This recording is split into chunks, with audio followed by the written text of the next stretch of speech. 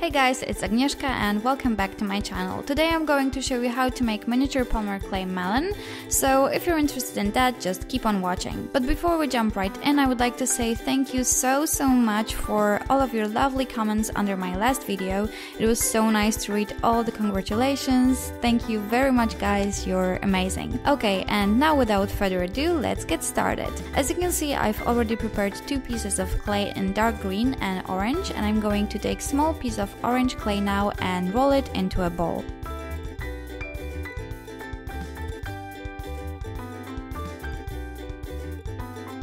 Next I'm taking green clay and I'm going to roll it out using my acrylic roller to get as thin sheet as possible.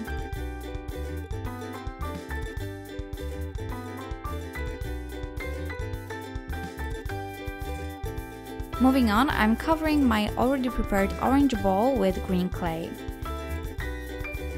Here I'm using my X-Acto knife to cut off any excess and I'm rolling my ball once again to smooth the surface. I'm going to take my dotting tool now and I'm using it to create small dimple. Then I'm grabbing my razor and I'm making shallow cat's lines all over the ball.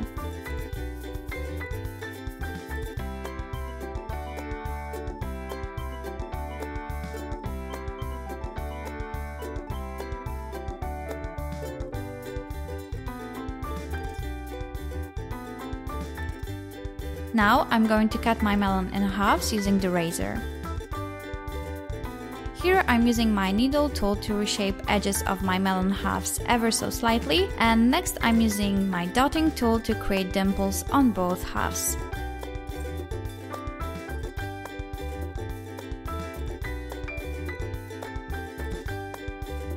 Moving on, I'm going to use a toothbrush to create a melon skin texture. As you can see, here I'm cutting my melon half into quarters and I'm also going to make a whole melon from scrap clay.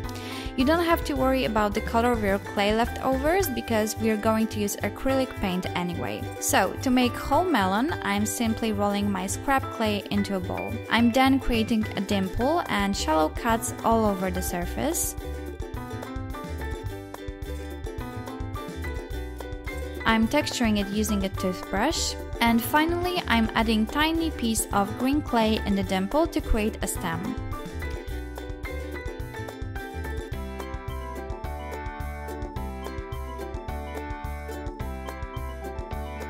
All we want to do now is to make melon seeds. To make them, I'm going to use this piece of tan clay, which I'm going to roll out with my fingers to create very thin snake. I'm using my precise knife to cut off a thin piece and that's it.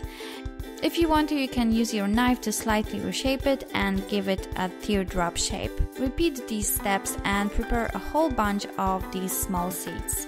And now you can finally bake all of your creations according to your clay instructions. Wait until they cool down and use acrylic paint in pale yellow to paint your melon skin. Depending on your paint, you may have to repeat this step to get an opaque color. Here I'm using a q-tip soaked in nail polish remover to clean my creation and we're almost done.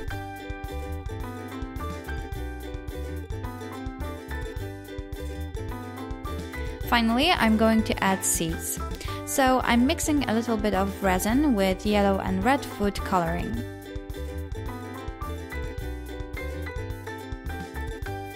I'm pouring my mixture into the dimples and then I'm adding my already baked seeds.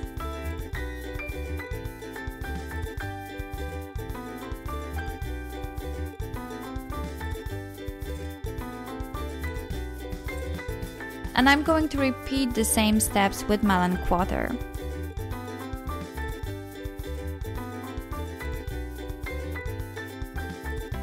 Wait until resin hardens and secure your creation with semi-gloss varnish. And it's ready! I hope you've enjoyed this video. If you do, please give it a thumbs up, that will be great. And if you're not already subscribed to my channel, you can click here if you're watching on your computer, or you can click the link in the description box down below if you're watching on any other mobile devices. Thanks for watching guys, have a great time playing with polymer clay and I will see you in my next one.